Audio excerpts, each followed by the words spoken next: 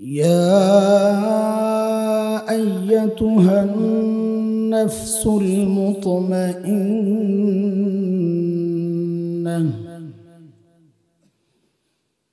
ارجعي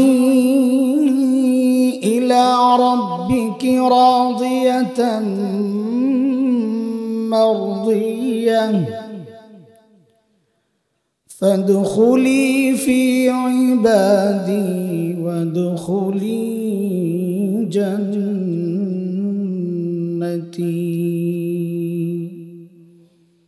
آمنت بالله.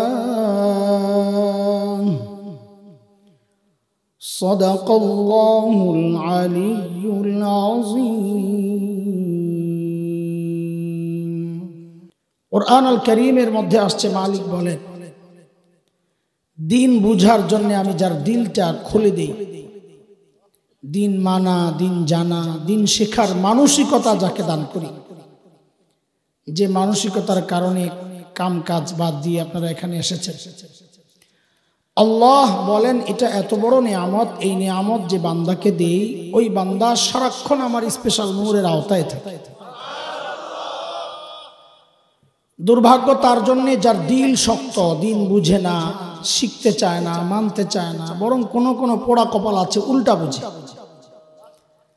আল্লাহ বলেন এরা স্পষ্ট গুমরাহিতে নিমজ্জিত সুরা জুমার আয়াত নম্বর বাইশে রবি করিম এই কথাটা বলেছেন মালিক বলেন أفمن شرح الله صدره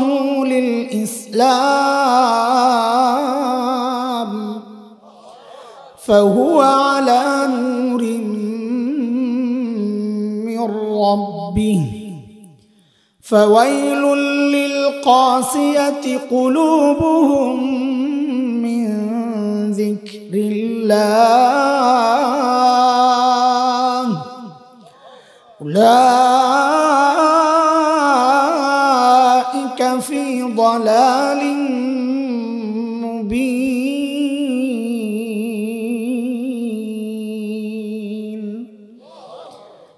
আয়াতের মধ্যে রব্বে করিম এই কথাগুলো বলেছেন, মোহতারাম হাজরিন, যে মহান মালিক এই নিয়ামতে আমাদেরকে ধন্য করলেন ওই মালিকের শুক্রিয়া আদায় করি, জবান খুলে, প্রাণ খুলে কালিমাত শুকুর উচ্চারণ করি, আলহামদুলিল্লাহ। কোরআন আল করিমের শেষ পাড়া তিরিশ নম্বর পাড়া আম্মা পাড়া এই পাড়ার একটা সুরা, সুরাতুল ফজর। এই সুরাতুল ফজরের শেষ চারটা আয়াত আপনাদের সামনে আমি তিলাওয়াত করেছি। আল্লাহ সুবহান ও তাআলার কাছে তৌফিক চাই। মালিক যেন এই আয়াতগুলোকে সামনে রেখে এমন কিছু কথা বের করে দেন, যে কথাগুলো এক নম্বরে আমার নিজের হেদায়াতের জন্য, সাথে আপনাদেরও উপকারে আসে, এমন কথা যেন আল্লাহ বের করে দেন। একটু মনোযোগ দিয়ে শুনব আমরা ইনশা আল্লাহ তাআলা। কিছু পড়া মুখস্থ করা যাইতে চাই, মাদ্রাসায় আমরা যেভাবে পড়াই। তো আপনারা মনোযোগ দিলে ওই পড়াগুলো মুখস্থ হবে। না হয় তো ওয়াজ শুনব, বাড়ি যাওয়ার আগে ভুলে যাব। এমনটাই তো হয়। আসি, যাই। চলছে, ওয়াজ তো আজকের থেকে। আপনাকে এই মজমাই তো কত বছর ধরে ওয়াজ চলছে? পড়া জিজ্ঞেস করলে পারবেন তো? ওয়াজ যা শুনছেন নয় বছর, না কত বছর? এগারো বছর। দশ বছর কেসে পারা যাবে তো পড়াগুলা? হ্যাঁ? বলেন গত বছর কি ওয়াজ শুনছেন? বুঝে নাই। আজকে পড়া মুখস্থ করে যাব ইনশাল্লাহ, বলেন। তো মুখস্থ করার জন্য মনোযোগ লাগবে না? তোরা বুঝেছেন না মার খাওয়ার জন্য। পড়া না পারলে মুরগি বানায় রাখে, মুরব্বীদেরকে কিচ্ছু বলব না। এই জন্য বেশি মনোযোগ লাগবে, ঠিক আছে ইনশাল্লাহ? নাইলে কিন্তু মুরগি, যা করে আল্লাহ। গতকাল গেছিলাম বরিশাল, দিনের বেলা প্রোগ্রাম ছিল। সকালের ফ্লাইটে গেছি, দুপুরে প্রোগ্রাম করে আবার বিকালে চলে আসছে। রাতে কামরাঙ্গিচর হাফিজ জুজুরের মাদ্রাসার প্রোগ্রাম ছিল। তো যাওয়ার সময় দেখি বরিশাল ক্যাডেট কলেজের এই এই টাইপের বাচ্চাগুলা ওগুলো সব মুরগি হয়ে রয়েছে। তো মনে মনে বললাম, আরে, তোরা ক্যাডেট কলেজে পরশ দেখা, তোরা মুরগি হস, এটার নাম দেয় ওরা শরীর চর্চা। আর আমরা মাদ্রাসাওয়ালারা যদি পোলাবেন মুরগি বানাই, তো বলবে মানব অধিকার লঙ্ঘন। ওরা ব্যায়াম করে, ওইটা হয় শরীর চর্চা। আমরা মাদ্রাসাওয়ালারা পোলাবেন রে ব্যায়াম করাইলে করব জঙ্গি ট্রেনিং হায় কপা যা আল্লাহ তো করে দিন দিছে, কয়ে থাকে, আমরাও হাসরের মাঠে ধরুন সেদিন আমাদেরকে দেখে আফসোস করবি, যখন আমরা আমার নবীর সাথে জান্নাতে ঢুকবো, ইনশাআল্লাহ। সেদিনের অপেক্ষায় না, ইনশাআল্লাহ? ইনশা ইনশা দোস্ত, যে আয়াতগুলো তিলাবাত করেছি, প্রথম আয়াত। আল্লাহ ডাকছেন, ও মতমা ইন নফস, আমার কাছে ফেরত আসো। এখানে দুইটা বিষয়। এক হচ্ছে মতমা ইন কারা? কাদেরকে আল্লাহ ডাকছেন? আর এক হচ্ছে এই ডাক আল্লাহ কখন দেন বা দেবেন? দুই বিষয় আমাদের হাকিমুল ইসলাম কারি তৈয়ব রহমতুল্লাহ আলের বক্তব্য আমরা পেয়েছি। আমরা আমাদের কথা বলি না, আমরা আমাদের বড়দের কথাই বলি। আমাদের বড়দের কথার মধ্যে দুইটা লাভ। এক হচ্ছে ভুলের সম্ভাবনা কম। আমাদের কথায় ভুলের সম্ভাবনা বেশি। বড়দের কথার মধ্যে নূর আছে এখলাস ছিল, বরকত আছে। আমাদের কথার মধ্যে কথার সৌন্দর্য আছে, ইংলিশ, স্মার্টলি কথাবার্তা, ভাব আছে, কিন্তু নূর নাই। জাগা মতো সুন্দর বুঝেন নাই কথা, বুঝবেন না আপনারা কোন দিকে ইঙ্গিত করছে? না বুঝলে আরও ভালো। আমাদের বড়দের কথার মধ্যে হারে কি যে নূর? কারণ ওই নুরানি দিল থেকে বের হওয়া কথার কথা। কলবে যায় লাগে। অত রং ঢং ছিল না। সাধারণ কথা বলতো। অথচ মানুষ গড়াগড়ি, কান্না, চিৎকার। আর তুমি কত কাটিং করে কথা বলো একজন একদিন মানুষের চোখে এক ফোঁটা পানি আসে না। তোমার নিজেরই আসে না, মানুষের আসবে কোথেকে কারণ তোমার তো ধ্যান থাকে, আমার কথারে কেমনে কাটিং করুন কাটিং। মডার্ন হুজুর। তো এই ডাক আল্লাহ কাকে দেন? মুতমাইন নফস কে তো হাকিমুল ইসলাম কারি তৈয়ব রহমতুল্লাহ আলাই যিনি দারুলুম দেওবন্দের প্রায় পঞ্চাশ বছরের প্রিন্সিপাল, মোহতামিম ছিলেন। হাজরত বলেন, এই ডাক আল্লাহ মুতমাইন নফসকে প্রথম কথা। তো বলেন যে মুতমাইন নফস হচ্ছে ওই ব্যক্তি যে আল্লাহর চাওয়াকে নিজের চাওয়া বানায়। যা আল্লাহর ইচ্ছাকে নিজের ইচ্ছা বানায়। আল্লাহর পছন্দকে নিজের পছন্দ বানায়। আল্লাহর অপছন্দকে নিজের অপছন্দ বানায়। মানে কি? আল্লাহ যা চান তা করে, আল্লাহ যা চান না তা ছাড়ে। সে হচ্ছে মতমা ইন্নাস এই ডাক আল্লাহ কখন দেন বা দেবেন? তো হাকিমুল ইসলাম কারি তৈয়ব রহমতুল্লাহ আলাই একটা হাদিসের উদ্ধৃতি এনে বলেন, এই ডাক আল্লাহ জান্নাতি বান্দার মৃত্যুর সময়ে দেবে জান্নাতি বান্দার যখন মৃত্যুর সময় ঘনিয়ে আসবে, তো আল্লাহ মালাকুল মৌতকে বলবেন, যাও, সাথে জান্নাতের কিছু ফিরিস্তা সহ যাও আমার মেহমানকে আগায় নিয়ে আস। আমরা দুনিয়ার মেহমান, আমাদেরকে আগায় আনতে লোকজন সামনে যায়। জান্নাতি মেহমানকে জান্নাতি ফিরিস্তারা আগায় নিতে আসবে, এটা খুব সাধারণ, স্বাভাবিক কথা। তো সমস্যা হচ্ছে, বান্দা জিন্দিগিতে ফিরিস্তা দেখে নাই। হঠাৎ এখন যদি ফিরিস্তা দেখেন, তো তো ভয় পাবে। আল্লাহ চান না জীবনের এই শেষ মুহূর্তে তার প্রিয় বান্দাকে একটু ভয় দেখা তো আসার প্রক্রিয়াটা কি হবে হাদিসের কথা? বান্দা দূর থেকে একটা আলো দেখবে, তার দিকে আগে, আগায় আসতে। চমৎকার চোখ ফিরানো যায়। এক নজরে সে তাকায়া থাকে তো থাকি। আলোটাও ধীরে ধীরে ধীরে ধীরে তার কাছে যখন আসে তখন সে বুঝতে পারে সুন্দর চেহারাওয়ালা কিছু লোক। তারা এসে ফিরিস্তা তারা এসে ওকে ডাকতে থাকে, বের হও বের হও বের হও। কি বলে ডাকে হাতিস ওই কথাগুলো আসছে, নবী আলহি সালাম বলে ফিরিস্তারা ডাকতে থাকেন, ইয়া কানাত ফিল জাসাদি তাইব উখরুজি ইলা রাওহিন ওয়া রাইহান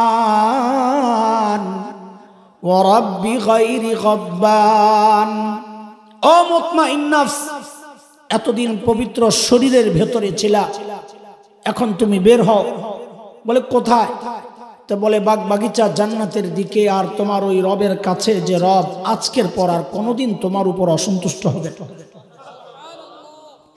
এভাবে ডাকতে থাকতে থাকে। কিন্তু সমস্যা হচ্ছে ওই রোহ লম্বা সময় শরীরের ভেতরে। একটা মায়া তৈরি হয়েছে শরীরের সাথে, একসাথে থাকলেই তো মায়া তৈরি হয়। আরে পুরান একটা জামা ফালাইতে মায়া লাগে, এতদিন পড়ছে।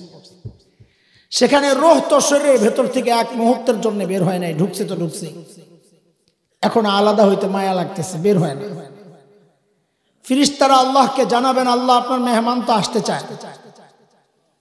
তো আল্লাহ বলেন, আমার মেহমানকে তার জান্নাতের বাড়িটা একটু দেখা দাও। যেই না তার সামনে জান্নাতের বাড়ি প্রকাশ পাবে তখন সে অস্থির হয়ে যাবে ভাই তাড়াতাড়ি নেও না আমারে কখন ওখানে যাবে ঠিক ওই মুহূর্তে আল্লাহ ডাকতে থাকেন ইয়া আইয়াতুহান নাফসুল মুতমাইন্নাহ ইরজিই ইলা রাব্বিকি রাদিয়াতাম মারদিয়াহ فادخلي في عبادي ওয়াদুখুলি জান্নাতি। ও মুতমাইন নাফস, আল্লাহ বলেন। আল্লাহ বলেন, ও মুতমাইন নাফস ইরজিই ফেরত আস। খেল কর। বড় আজীব কথা। ফিরিস্তারা যখন ডেকেছিলেন, ফিরিস্তাদের শব্দ ছিল, বের হও বের হও। আল্লাহ ডাকার সময় শব্দ পাল্টায় গেছে। আল্লাহ বের হও বলেন না। আল্লাহ বলেন, ফিরে আসো, ফেরত আসো। দুই শব্দে পার্থক্য আছে। বের হও মানে কেউ নিজের ঘরে আছে তাকে বের হতে বলা হচ্ছে। ফেরত আসো মানে কেউ বাহিরে আছে তাকে জায়গা মতো ফেরত আসতে বলা হচ্ছে। ফিরিস্তারা ডেকেছিলেন, বের হও। এই জন্যই তো বান্দা বের হয় না। আমি আমার ঘর সারুনকে আল্লাহ বলেন, বের হও না, ফেরত আসো। মানে তুমি তোমার জায়গায় নাই, আসল ঠিকানায় নাই। তো স্বাভাবিক প্রশ্ন আসবে, আল্লাহ, আমি কই ফেরত যাব? তার মানে আমি আমার জায়গায় নাই, তো আসল জায়গা কোনটা? তো আল্লাহ তো আগেই দেখায় রাখছেন, ওই যে তোমার জান্নাত আসল ঠিকানা দেখা যায়।